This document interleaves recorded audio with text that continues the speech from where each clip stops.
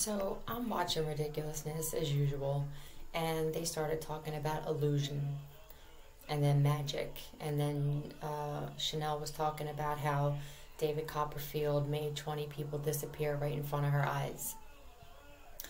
And then she says, I was thinking to myself, like, he's the devil. And you know, I've heard other people say this about like Criss Angel when he made a building disappear, and David Blaine when he levitated and stuff.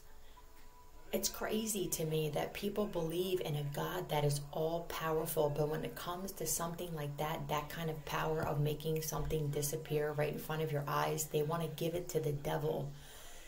It's like people are confused about what they believe in. Why, why do people who believe in God and the devil, first of all, why do they give everything that that's powerful over to the devil? Wouldn't you give that to this God you believe in? Why wouldn't you say that God was all powerful and could make that building disappear because he could do all things if he wanted to? I don't understand it. I, I think people are just confused and they just they want to believe in that so bad that they don't care what they say. This is just this is just my rant for this morning. Love you guys. One, two, three. Nowhere.